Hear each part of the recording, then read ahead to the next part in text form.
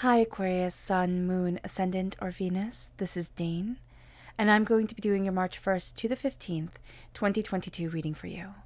Now, I ask if this reading resonates with you, don't forget to like, comment, and subscribe. If you're interested in any of the cards that I'm using, they will be listed and linked in the description box below. Now, before we begin this reading, let us clear the energy space, raising our own energy vibration and releasing any negativity. So, take a nice deep breath in exhaling whenever it feels comfortable for you.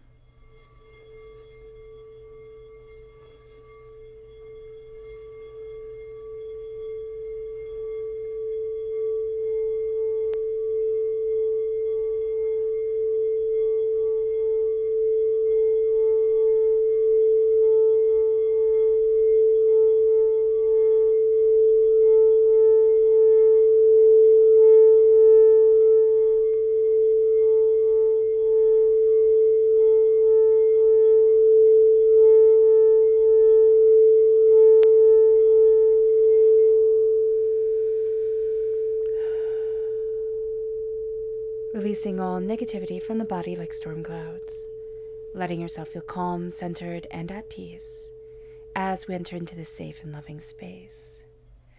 So let's see what the tarot has to say.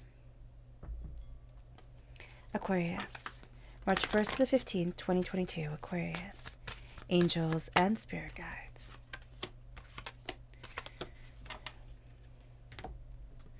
So we have here the magician, the lovers, and the high priestess. There's such power to us coming forward. And this is the theme for the whole entire reading. There's a sense of, I'm claiming this. People are seeing me claiming this. There's a certain power to us during this time, Aquarius. And yet, so much is happening behind the scenes. And we're kind of we're falling in love with things again, but we're also seeing a love, a spark. There can be somebody that we're really connecting to on a, a spiritual level. It's going to happen kind of spiritually first, or, you know, kind of it's going to be through ideas. It's going to be through you know concept. It's going to be through something other than just like a physical really strong attraction. This might not be somebody who we become physically attracted to at all or have a romantic relationship with at all. This is somebody who really does inspire us. So this is going to be there's a very powerful pull forward here for us. So that's that's really beautiful. Now let's look at the energy to be mindful of. Angels and spirit guides show me clearly so this is Sagittarius energy. This is this is like all of a sudden we get caught up in these ideas. We get caught up in in a certain way of seeing things and this this person's way of of seeing things or something to that effect and it's like oh my gosh now this is gospel truth, right? This is just the way it's supposed to be. And Spirit is saying here, like, slow down a little bit. This person is going to be inspiring, but we also need to weed out what doesn't work for us, what does work for us, and see where it is and how it is that we need to move forward for us emotionally, spiritually, personally. And let's look at our chakra energy, angels and spirit guides. This is inspiration. This is the sacral chakra. There's something that's coming to light and it's it's something that again has been kind of pushed aside and there's some sort of new spark new idea that's coming forward. Now the sacral chakra is complicated because it's where not only you know all our creative energy and sensual energy is held but it's where a lot of the negativity from this life and past lives are held. So it's like as this new dawn's coming forward there's a certain energy that's trying to pull us back to say oh no you can't. Like you can't possibly move forward that way or you can't possibly do that. But there's such a power here of a veil being lifted like we're seeing something so much more openly, so much more honestly, so much more right for us. So it's this, and then it's this pile, and then it's this pile. Okay. So here we have Capricorn energy. We have the Devil come forward. We have the Six of Wands. We have the Hierophant, Taurus energy. And then we have the Ten of Cups, the Seven of Wands, the Ten of Wands, and the Six of Swords. So there is quite a lot going on here as we're looking at, well, there's quite a lot here at our beginning anyway. So there's such this sense of a power coming in, and yet the the devil comes forward, and this is what we're addicted to. These are our our fears coming forward. But this is also just natural chaos coming forward. The horned one is in in mythology, you know, it's the god of the forest. So it's it's chaos coming in, and there's something coming in here that's going to be like you can't, and it has to do with the sense of I've been fighting for so long, I'm carrying such a heavy weight. You know, don't you know I don't have time for this? there's almost an energy of like I can there's like this inspiration that's coming forward, but I just see like a slamming of a door. It's like no, I'm not ready for it. It's it's, it's almost like Scrooge McDuck sit, sitting Scrooge McDuck, yeah, of course, um, sitting at a desk. Like, no, I, I don't want that blessing, you know, coming in, and yet there's there's just such a power of needing that blessing to come forward during this time. And yet we're going to be pulled in such a different direction that we have to be mindful about that. That it's almost going to feel like, oh my gosh, are you kidding me? Like you're taking my time now. Like this needs to be done. And then it moves us to this place of, of like a message comes through. And it comes through in the most innocuous way. It comes through in the in the calmest, quietest way. And all of a sudden it's like, oh, I should be paying attention, shouldn't I? and it's something that reminds us it could be a scent it could be a food it, it has something to do it has very to do with either taste or with smell coming coming forward and and that might ring true for one very specific person but all of a sudden it's like oh my gosh i'm put back into a place where it's like it's calmer and as as that comes forward we start to celebrate ourselves again we start to celebrate ourselves because we're realizing that we have this key, we have what we desire, we have what we want, and there's a blessing coming for us. There's maybe a new definition of happiness coming into our lives. But as we're looking at the happiness, as we're looking at what's really important, it's like, okay, okay, maybe maybe things need to change. Like maybe I need to change things up. And as I change things up, I start to see me. You know, I start to see my happiness, I start to see my joy, and maybe it's not the way I expected it to be. But does that mean it's wrong? And it's like, no, it doesn't mean it's wrong at all. So something comes in and it, it really does take us by surprise. Be be aware of two very kind of like opposite earth sign energies, both very grounded, both very stubborn energies coming forward, just like very, very stubborn here, Aquarius. But one is going to one is going to be just a little bit lighter and gentler. The other one is going to have us seeing a lot of truths about ourselves that are really a lot more intense. So just be mindful of this. Like the other one has like this, like opens the book almost. And the other one is sitting there pointing at the paragraph, going, read this, read this, read this. So just be aware of that because that's a little intense. so, so yeah, there's somebody here who's who's kind of jumping up and down. Angels and spirit guides. Let's see. Let's go deeper. Let's go deeper. Is this a person that we're married to, divorced from? For somebody, it is. For somebody, this is a person from a past relationship or something like that coming in. And it's like, look at this, look at this, look at this. So maybe not even, yeah, oh, okay. So if this is a past relationship, there's something that you're saying, oh, well, this was my fault. Like, this was my fault, this was my fault. And you've carried that with you for a really long time. This is a time where we start to let it go. Like, and we fought against that person's words for a really long time. And it doesn't have to be that this was a partner. This could be like a mother-in-law, a father-in-law, you know, somebody like that. But they they put a, a hurtful, hateful seed, and they and they and they just like let it run. Ooh, they're they're really rather vile. Okay.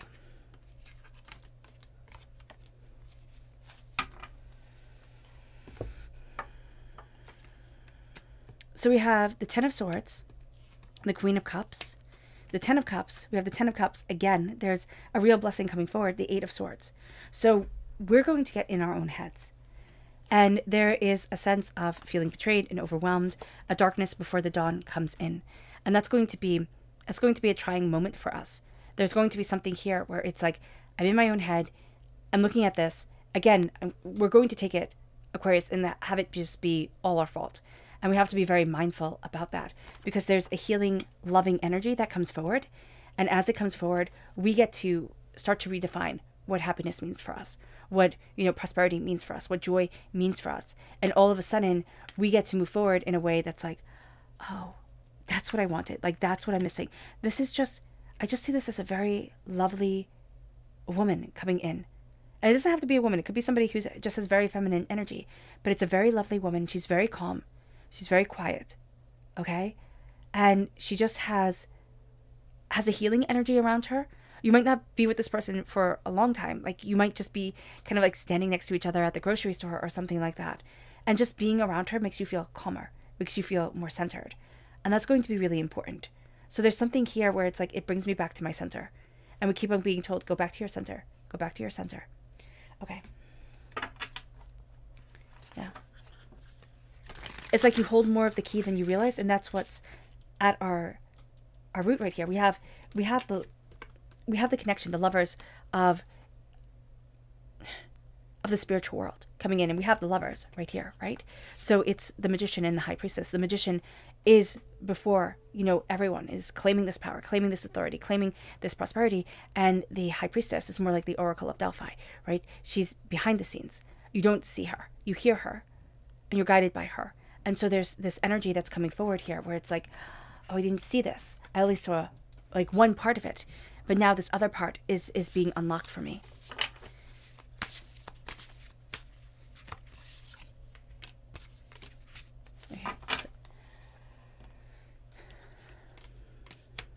Ace of Pentacles and the Strength card. So the Ace of Pentacles is God Source Spirit, however you see the divine, the universe, handing us a gift of wealth and prosperity. There's new seeds to be planted. There's new bounty to come. And we have to have the time to plant it, to see it, to to embrace it. With the Strength card, it's like the strength comes forward. This is Leo energy. The strength comes forward. And sometimes we do have to stand our ground. You know, sometimes we do have to say yes to this and no to this, and I am moving forward this way. But also with the with the strength card, it's like I'm embracing my inner strength, what I desire, what I want, what I need. I'm finding that I'm a heck of a lot stronger than I thought, and that becomes the game changer here. It's like all of a sudden, all of a sudden something is opened, and it's like I didn't realize I had that strength. I didn't realize I had that power. But also, I didn't realize I had that support. And it doesn't necessarily have to be from an outside source, though it can very well be, and that would be very much appreciated. But it can also be from my inner self and from my connection with angels and spirits and with my angels and my spirit guides and you know with divinity. It's like a door has been opened. Are we willing to walk through it? Are we willing to take this blessing and plant it and grow and see what becomes? Because there's something here where we're being given it and it's just like it's like magic. It is like magic. It's like the seeds are, are being planted. We we have this gift right at the root of everything. And it's like am i walking forward am i embracing it can i can i have this can i do this and there's a strength to us that's coming forward that we didn't even know we had and it's it's changing the game and it's changing the game and we're falling in love okay okay all right, Aquarius. I hope this reading has resonated with you. I wish you nothing but light, love, peace, and happiness. May harmony always be with you. I am sending loving, healing energy to each and every one of you. I love you all and stay safe. Did we do the subconscious energy? Of course not. So, the subconscious energy here is the King of Pentacles. The subconscious energy to be mindful of is the King of Pentacles. Do not let, do not let the value of things dictate your value of things you know what worth you put on it because there's somebody here who's saying like wipe the slate clean that's why spirit had me clear off the cards you know it's kind of like wipe the slate clean look at what's important it brings us then to to listening to the throat chakra. The chakra energy here is of listening. Where everybody else is talking now we become silent. Now we hear. Now we we gain an understanding. And then the tarot is telling us that the world is opening.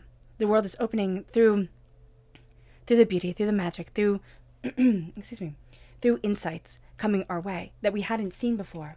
And it brings us then to the Ace of Cups, a gift that we take because we had the magician right at the top of the story. God, Source Spirit, however you see the divine universe, hands a gift, heals our hearts. There's a sense of of love settling us, connecting with us, guiding us forward. It moves us then into the Six of Swords. We're taking the knowledge that we have learned and we're moving in a very new way. And the there there's like going to be emotional bumps along the way, but that's going to be okay. It's like we're smarter, we're wiser than we have given ourselves credit for, and we're done. We're done with playing second fiddle.